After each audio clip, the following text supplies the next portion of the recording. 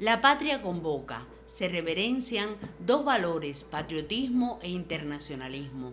Este 7 de diciembre, Día de los Mártires de la Patria, se efectuó la peregrinación hasta el Panteón de la Necrópolis. Autoridades, familiares, estudiantes, trabajadores compartieron honor y gratitud en el aniversario 126 de la caída en combate del general Antonio Maceo y su ayudante Panchito Gómez.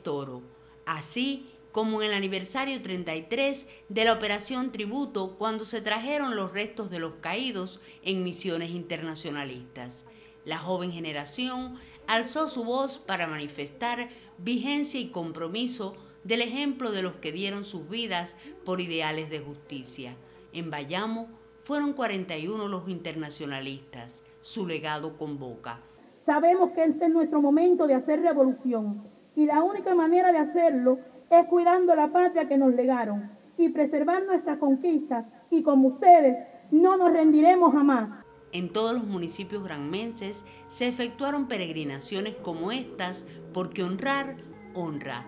Teresa Armesto, Sistema Informativo de la Televisión Cubana.